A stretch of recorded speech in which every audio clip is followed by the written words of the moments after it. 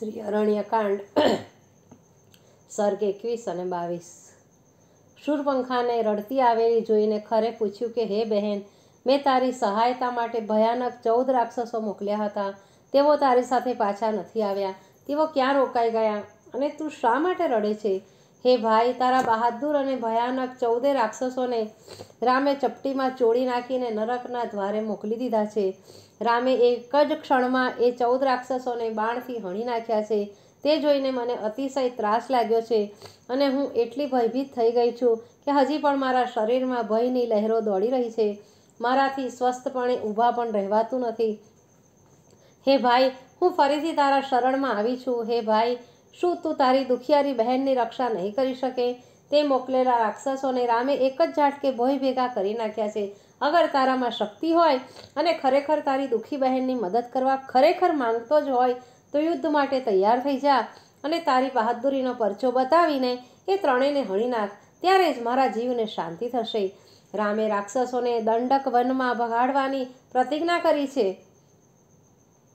માટે જ અહીં આવ્યા છે. તેણે મારા જેવી અનાથ અબળાના નાક કાન કાપીને, હે ભાઈ, તને પડકાર ફેંક્યો છે. અગર તારામાં તેમને હણવાની શક્તિ હોય, તો મારી સાથે અત્યારે ચાલ અને તારી બહેનનો બદલો લઈ તેની મનોકામના પૂર્ણ કર.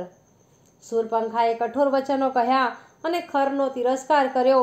આથી અન્ય રાક્ષસો સાંભળતા ખર કઠોર અવાજે કહેવા લાગ્યો, હે બહેન, તારા વચનોએ મારા ઘાવમાં મીઠું ભભરાવાનું કામ કર્યું છે.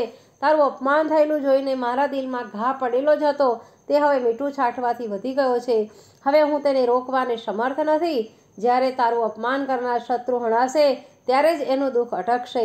હે બહેન, તું દુઃખી જરાય થઈશ નહીં. થોડા સમયમાં જ એ રામ અને લક્ષ્મણને મારા ફરસાથી હણેલા જોઈને તું હર્ષ પામજે. પછી ધરાઈને એના લોહીનું તું પાન કરજે. ખરનો પહેલાં તિરસ્કાર કરનારી રાક્ષસી હવે ફૂલાવા માંડી, હે ભાઈ, તું તારી સેનાને તૈયાર કર.